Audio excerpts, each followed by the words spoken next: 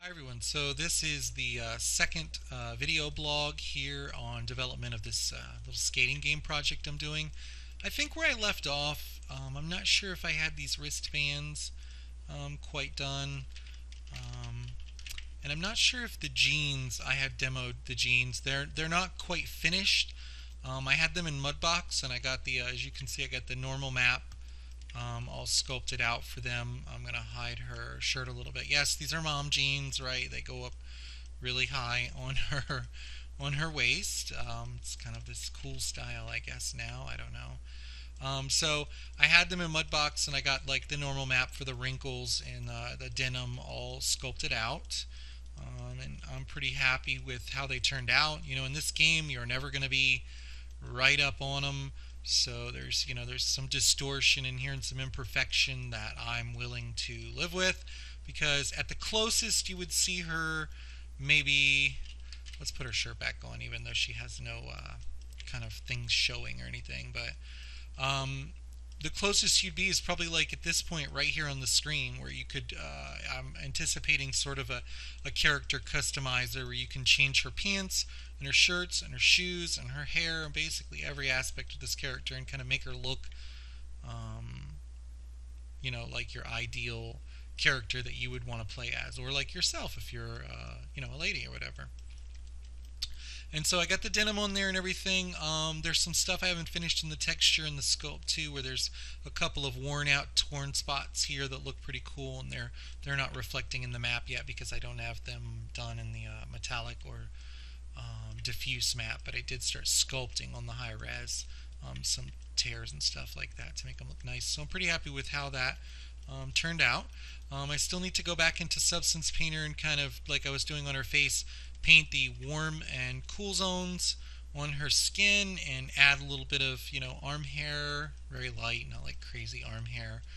Um, I think I did her a rough start on her the hair underneath her hair, so she didn't have long hair. She's got this like bob of short hair. Um, work in progress, right? Um, she still doesn't have any fingernails or anything like that. So basically, I have to go back to this entire skin and body mesh and give her toenails and fingernails, and also bring that, you know, when I'm doing that in Mudbox, sculpt the normals on it so we can kind of get some nice um, definition for a little bit of musculature here and there, or wrinkles and folds, and especially around the face that has no normals, so you're lacking a lot of definition and folds in the face and stuff like that that you would normally see. It looks really flat. So that's where I left off on the art. And then I started moving over into, and I wasn't sure if this is actually going to be a featured part of this game, but uh, you know, one of the games I played as a kid in the early 90s was uh, Skate or Die and Skate or Die 2 and 720. And in Skate or Die 2, there was this mode you could go into that was like a free play mode um, where you could go on a half pipe ramp like this, and it had a little spine ramp in the middle here, and you could just basically skate free and go balls to the wall trying to get tricks and points. So I thought, well, I wonder if I could um, do something uh, like that my myself, right?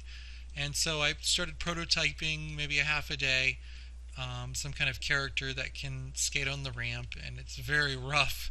Um, I, I, barely don't want to call it um, functional. You can see the physics and everything are a little wonky. Um, and he can move up and down, he or she can move up and down the ramp. Um, no animation or anything, just a stiff character. One of the problems uh, I was having is this character basically gets aligned to the ramp by um, this little raycast transform right here shooting down a ray and um, it actually should be up closer to the board that's a little odd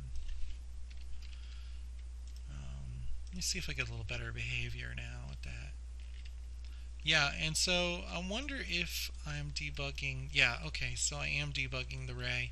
And you can see the little ray cast here going down. And it's uh, basically rotating our character to follow the normal of the surface normal of this curved ramp.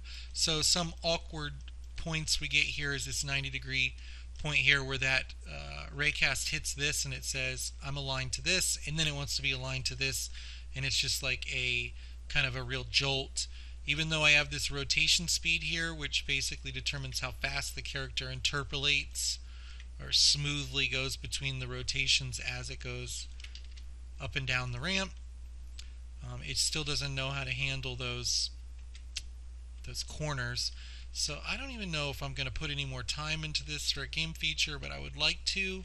It's just really difficult. There's a lot of issues, like on the ramp's easy, but when the character leaves the ramp like that, uh, the behaviors are just very strange because of that transition.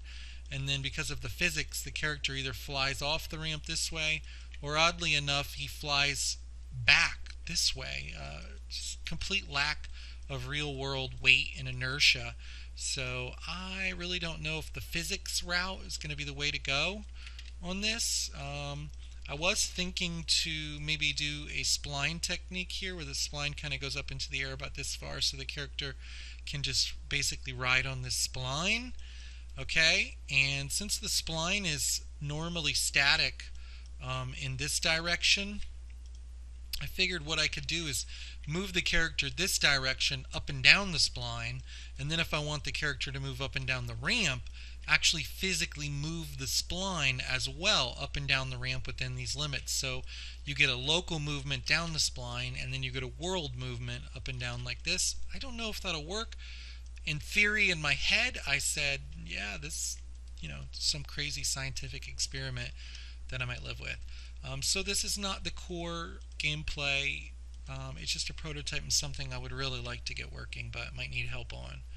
Um, so the actual um,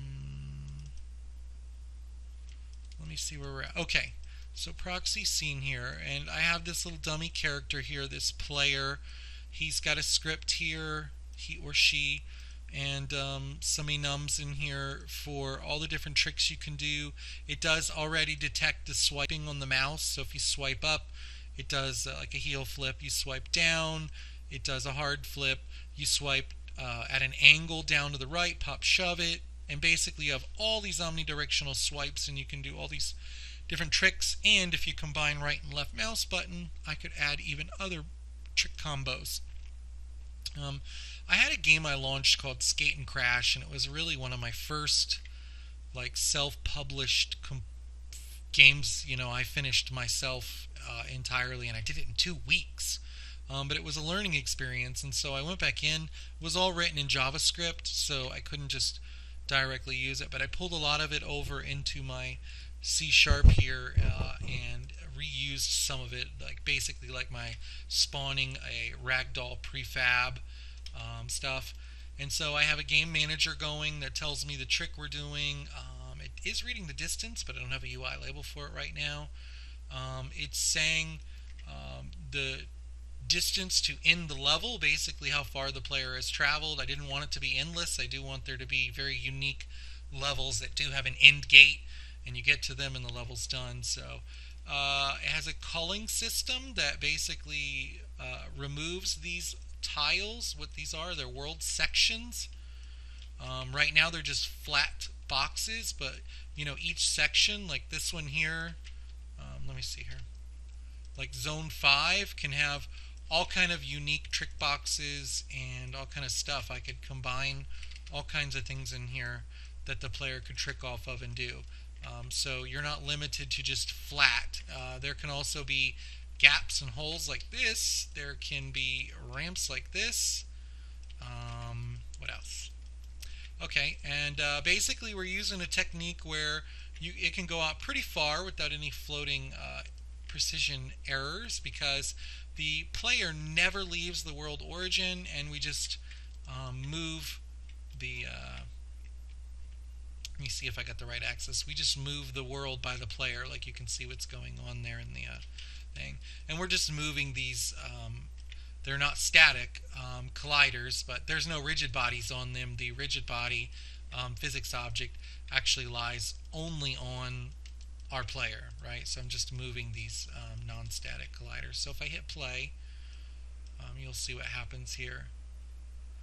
I hit left mouse button and I can ollie and oh and I and my ragdoll prefabbed out prefabbed instantiated there. Let me see if I made myself an impossible scenario. Ah. I think this one is just too darn tall. So it's going to be very much like uh, making a puzzle. So kick flip ollie heel flip front side flip. Oh man, that's just barely made that one. Um, I don't know the tricks doing score multipliers or combos yet. Um, I'm trying to get past this part so I can just show you guys some other stuff. Oh, and I'm epically failing at my own game. I'm just going to move that closer. Now it's probably not even in the right zone, but I'm just kind of fiddling with it. Okay. Whoa. Alright. Okay. So we got past that. So there is the player, and as you can see here, it's not leaving origin at all. The world is actually um, scrolling by the player. Um, this is our world mover. I can change the speed right there. I can change the acceleration, and if I do, uh, it's not set up right. Yeah, if I do keyboard control, when I press the keyboard, the world will actually move based on the press on the keyboard, like that. And that kind of gives you the option in levels to, very much like Skate or Die 2, um, to move around the level and turn around and traverse the level that way, but we'll see if that's a different feature.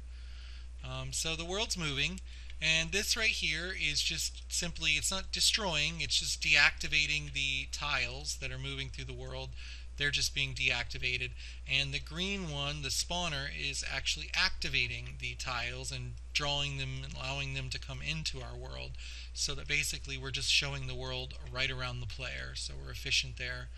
This is just a visual guide to show me that that is the end of this level so I can look out on it and uh, um, as it's going I'll know. So here's the distance traveled. We're reading how far this moving world has moved past the player. We're pretty close to that in level distance, so you'll see the world stop and slow down. Here we go. I have it lerping slowly. So there we go. Comes to very slowly, right? Comes to a stop, pretty close. And then that's the end of the level. I don't have the animation stopping on the player and the player going into an idle yet. As you can see, I have no animation transitions for, for the ollies or the tricks or anything like that. So I'll have to get that. And basically what this did is this is the uh, this is a game over state or end of level um, state. Um, obviously the player script's not uh, saying that it's game over.